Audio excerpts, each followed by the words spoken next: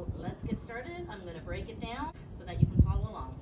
So we're gonna do the first section of eight, which is the K step. K step goes like this. One, two, three, four, five, six, seven, eight. So it looks like the letter K. Let me turn around and show you from this side.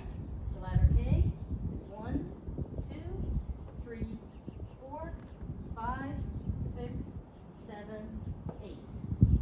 So that is first section. Section two is going to be a grapevine, which we go to the right for four.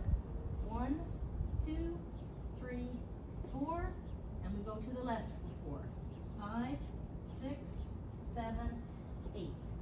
Okay, so your section three is going to be a jazz box quarter turn to the left with a V step. So it goes like this. Cross your right over your left. You bring your left foot back. You bring your right foot back and move your left foot next to your right. That's the jazz box. One, two, three, four. From there you do the V step.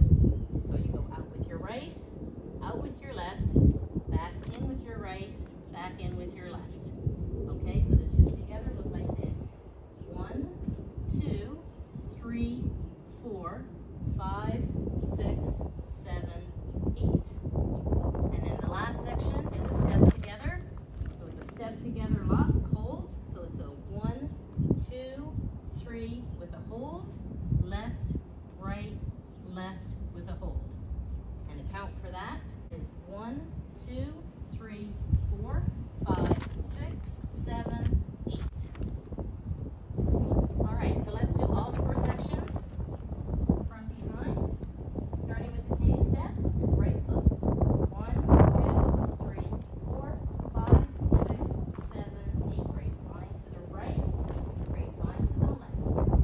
K step, jazz box, quarter turn with a V step.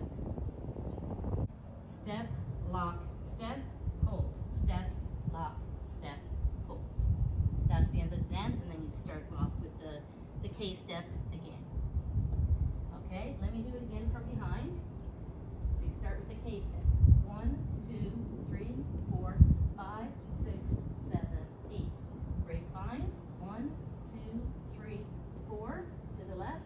Five, six, seven, eight. Jazz box.